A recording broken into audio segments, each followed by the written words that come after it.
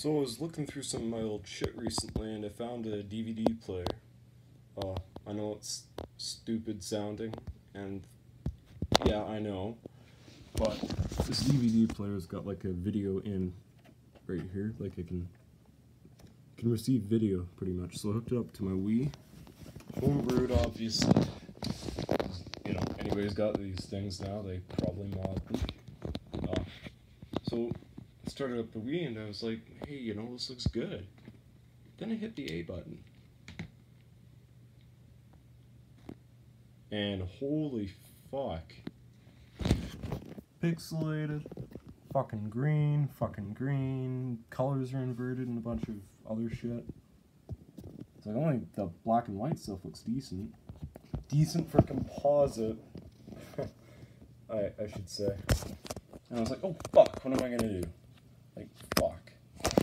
I thought, why not put it through an AV to HDMI upscaler thingy, then connect that to an HDMI to AV.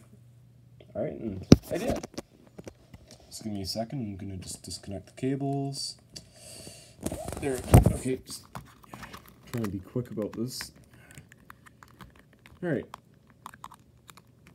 And so that worked, right? And then at the end of the uh, AV to HDMI, or HDMI to AV converter, I connected comp composite to uh, 3.5 millimeter cable.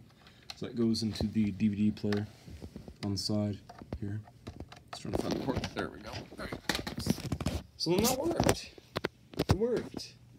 It's a bit washed out, but I can just adjust the contrast and brightness and shit until it gets to uh, good, until it looks better. So it worked. I'm powering both these things um through the USB ports in the back of the Wii, though I suppose I could power them using a splitter from the USB port on the side of the uh, DVD player here. The only issue is, is that I have to power the Wii using its external power source. DVD player just runs on its own internal battery. Ah, so see, I gotta power the Wii. I'm trying to figure out how to use a car backup battery starter thingy, or whatever the fuck it's called, to power the Wii. I'll explain that in my next video. So, you know, you got any ideas or whatever?